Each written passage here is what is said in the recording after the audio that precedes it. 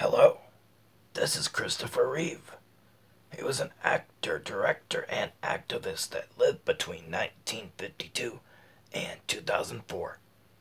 He is best known for playing Superman in four films